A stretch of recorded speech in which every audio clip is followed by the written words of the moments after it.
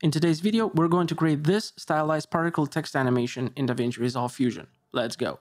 Once you're in Fusion, bring in a text node and a merge node.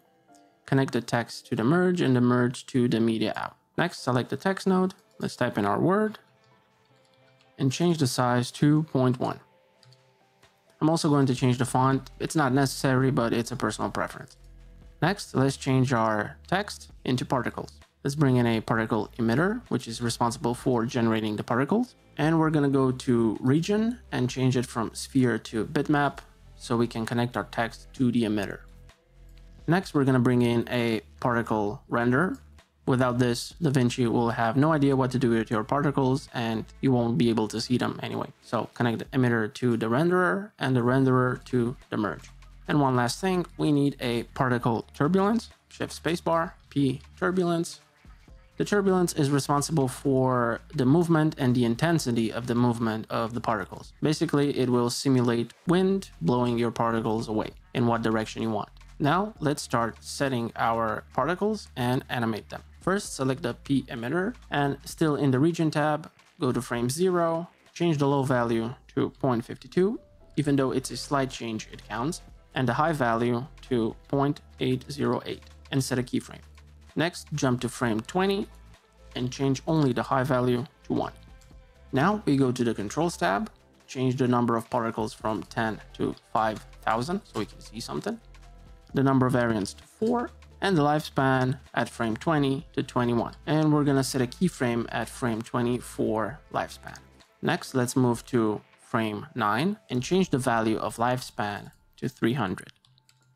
Then jump to frame 0 and set the lifespan to 0.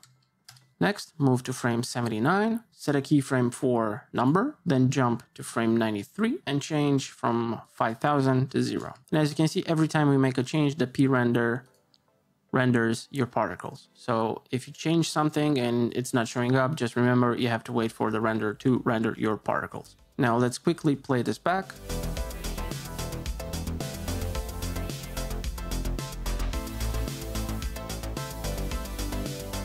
Good. Next, we're going to set up the turbulence and we're going to animate it. Select the P turbulence. First, we're going to go to conditions. We're going to place our playhead at frame 0 and we're going to set the probability to 0 and set a keyframe. Then we're going to jump to frame 7, change the value back to 1, jump at frame 77, set a keyframe for value 1, and then go to frame 97 and change the value of probability back to 0. Next, we're going to go to the controls tab, jump back to frame 0, set a keyframe for x and y and density at the current values, and set the z strength to 0. Next, we're going to move at frame 15, set x and y to 0, and the density to 100. Then jump to frame 77 and only change x and y to 0.193 for x and 0.16 for y. Then we're going to jump at frame 83, change the density to 18.2, jump at frame 90, set x and y to 0, then go to frame 94 and set the values for x and y back to 0.193 for x and for y 0.16. Good, let's play this back.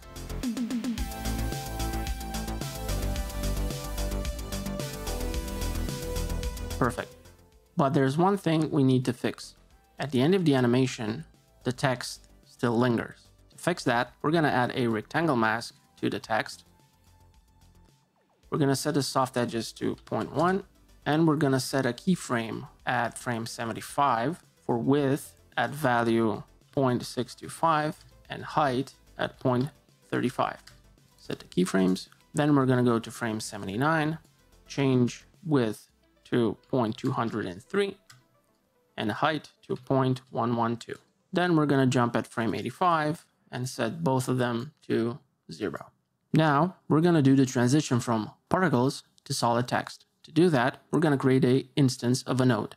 We're going to select the text node, control C, double click on the empty space and control shift V to create a instance of the node. Next, we're going to bring in a dissolve. So double click on the empty space, shift spacebar and search for dissolve.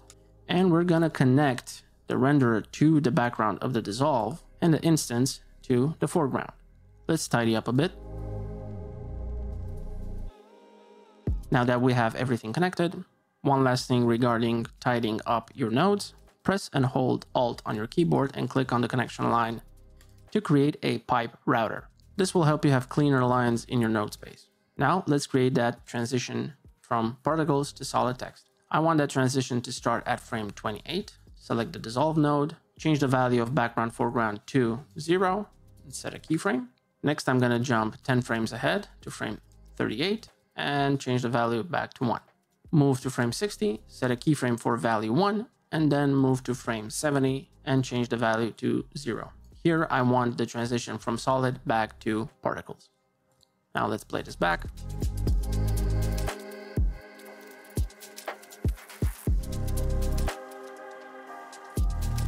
Perfect. Now let's add some color.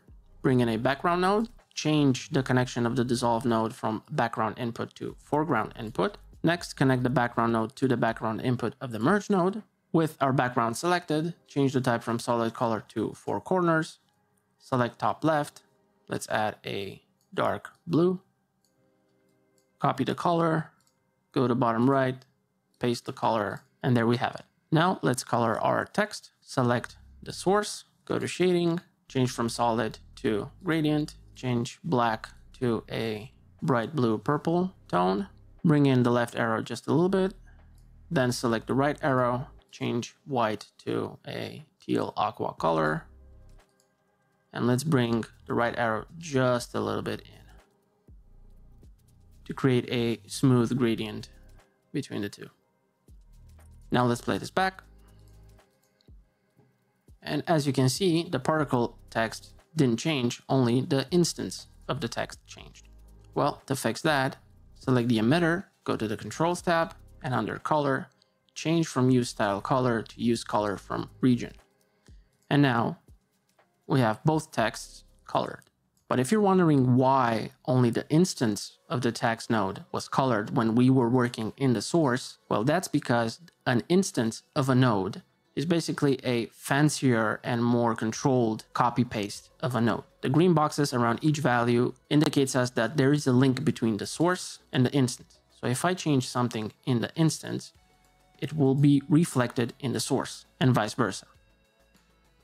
That's the power of an instance node and the benefit when working with complex animations and multiple nodes of the same type. Now let's play this back one more time.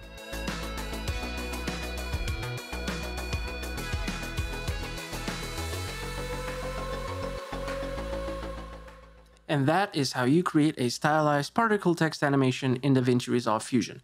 Now, if you want to learn other cool text animation techniques, start with this one, and until next time, take care.